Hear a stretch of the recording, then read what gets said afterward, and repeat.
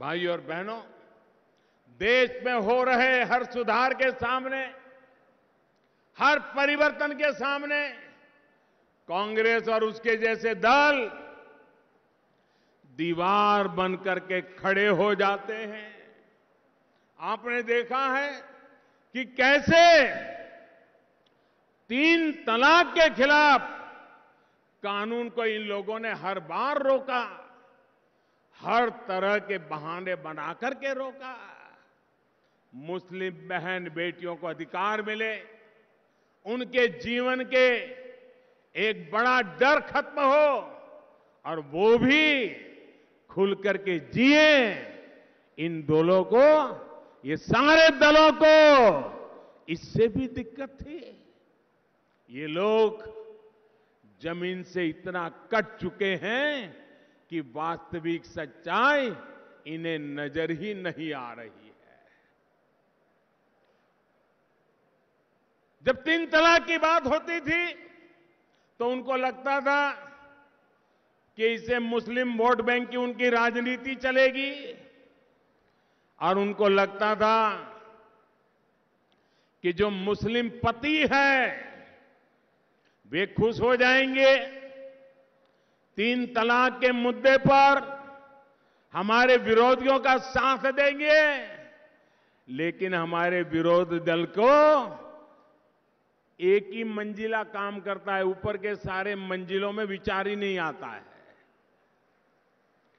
ये भूल गए कि मुसलमान पति के नाते हो सकता है तीन तलाक उसको अच्छा लगे।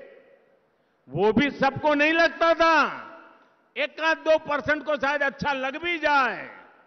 लेकिन उस मुसलमान को भी विचार आता था कि मैं पति तो हूँ, लेकिन मैं पिता भी हूँ।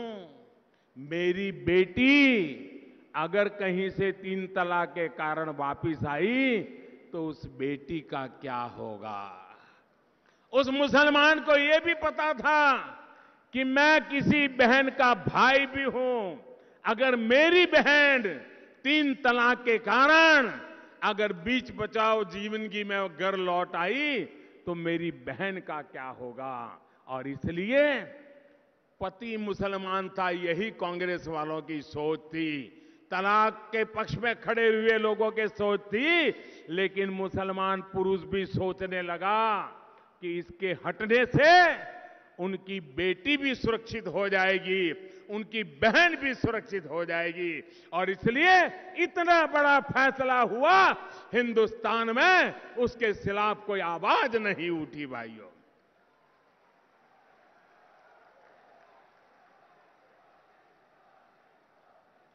मैं आपको एक और उदाहरण देता हूँ। कुछ दिन पहले ही सरकार ने पशुओं के स्वास्थ्य की सुरक्षा के लिए देश के सब, का सबसे बड़ा अभियान शुरू किया है। पलवल समेत पूरे हरियाणा में तो पशुधन गाँव गरीब का बहुत बड़ा सहारा है। आप भली भांति समझते हैं कि पशुओं में खूर और मुँह की बीमारियाँ, जिसको अंग्रेज़ी में लोग कहते हैं फूट एंड माउथ डिसीज से कितना बड़ा नुकसान होता है। कहाँ तो इनको खुले मन से ये कहना चाहिए था कि देश के 50 करोड़ पशुओं के मुफ़्त टीकाकरण का अभियान सफल रहे। लेकिन ये लोग इस पर भी तरह तरह की बातें फैला रहे हैं। भाई और बहनों, देश की राय साफ़ है। अब सिर्फ़ विरोध और प्रतिरोध की राजनीति नहीं चलेगी। अब देश सिर्फ़ और सिर्फ़ विकास चाहता है। और मैं ये संतोष के साथ कह सकता हूँ कि भाजपा और उसके साथी इसके लिए ईमानदारी से प्रयास कर रहे हैं।